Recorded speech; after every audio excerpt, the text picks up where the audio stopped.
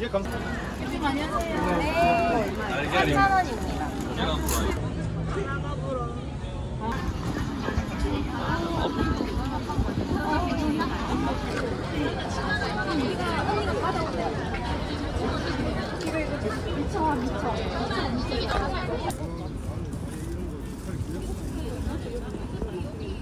어차피 좀 이따.